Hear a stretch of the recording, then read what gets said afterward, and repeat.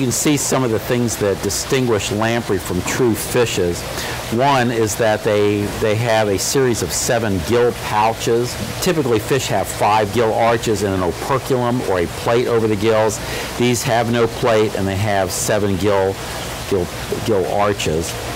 Uh, they have this, this sucking mouth here that is uh, lined with teeth and also they have a toothy tongue. This enables them to adhere to the surface of a fish and rasp a hole in its side to, to feed on its fluids. But it also enables them to latch onto rocks to make their uh, upstream migratory movements. Here, this is a male, and you can tell the male because of this large organ here called a rope organ.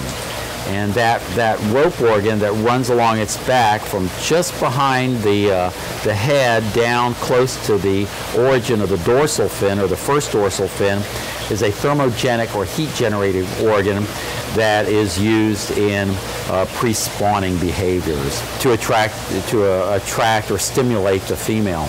Now here you can see there are no paired fins behind the head, so it doesn't have pectoral fins. It also doesn't have pelvic fins. This here's the the anus, and there are no pelvic fins nearby.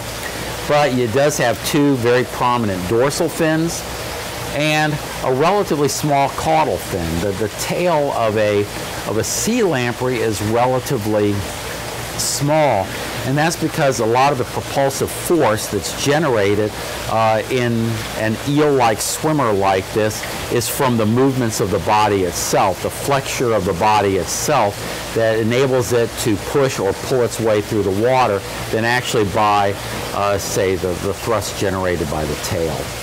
What's, what's particularly interesting about the head of the, the lamprey is the fact that it has a single nostril on the top of its head. Most fish, of course, have two.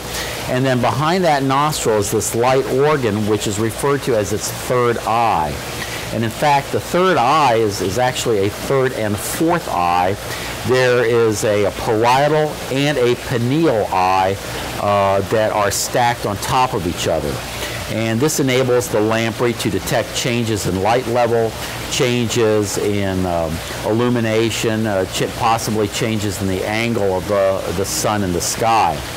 Uh, work that has been done with animals having these third eyes, and that includes uh, some fish, but mostly uh, reptiles and amphibians and lamprey, is that it is a radiation dosimeter.